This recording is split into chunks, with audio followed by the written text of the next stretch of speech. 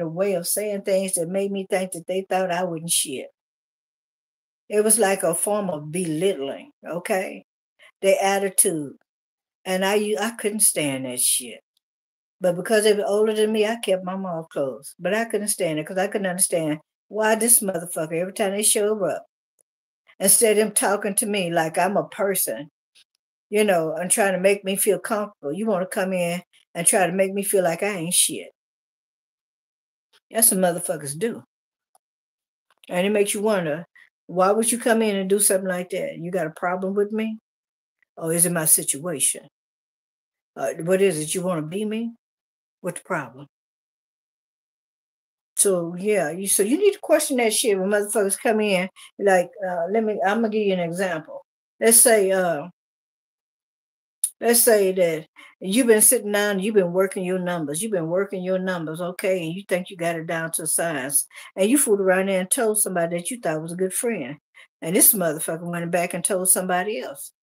All right, somebody else maybe in your family or somebody else that you look up to that's older.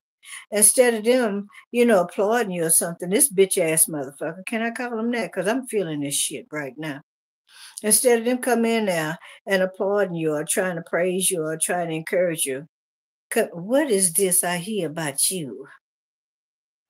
Playing the numbers and thinking you got it right. That's like they're saying the very audacity to think that you that smart or you that blessed. You know, they make you want to shove your fist up and, and tell them that. You know what I'm saying? Yeah, you know where I'm going with that. Just shove your right up a mother's because it don't it ain't even worth it. Why would you do that? Why would you even try to kill another person's uh light, dim it? All right? Or even step on their thunder. That's that's a form of belittling a person.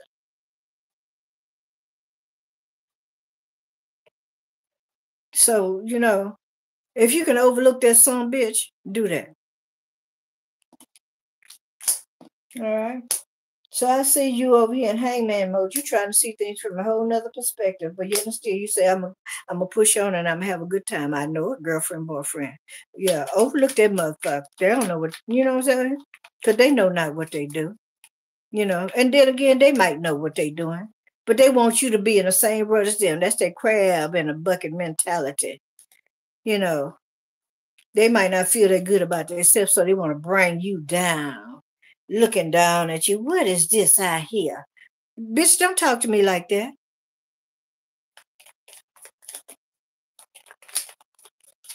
You got a card that flipped up and jumped up in the air. Eight of Pentacles, okay. All right, congratulations. There's something you're doing that's going to take off. All right, it's going to bring you some wealth. All right, if this is a job, I think you're creating a whole job, a whole position. I don't know if this is a job on a you creating another position at a job or what. I don't know if you can see this here, but I, am gonna see if I can get it to you. All right, there's healing coming in your finances.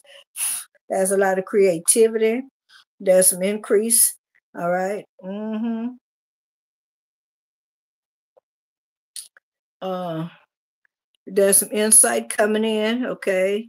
Yeah, you connected. Your third eye is, is wide open. Oh, it's a bunch of beautiful stuff. I know you can't see it, but I'm gonna try to get you to see it anyway.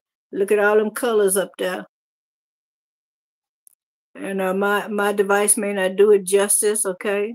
But those are some beautiful colors, okay? All right, you got the justice card at the bottom, okay? All right, I'm gonna stop on your reader. All right, you got some good news. I mean, uh, the scales are being balanced. Okay, the truth is coming out about a situation, circumstances. I want to let you know when people talk to you, chances are that they do. They have a jealous streak. They might not never tell you, but they got one against you, and they don't want you to get up. You ever seen a dog? All right, when somebody been kicking that dog around and stuff, and you walk in the room or something, instead of dog being happy, they tuck their tail in and they get curled up and they look up at you like that. That's what kind of uh, that's what kind of uh, uh, emotion a place this person is trying to put you in. And we ain't taking that shit. You hear me, Libra? And that goes for everybody in here. Never again let another person bring you down or make you feel like you ain't shit. Because chances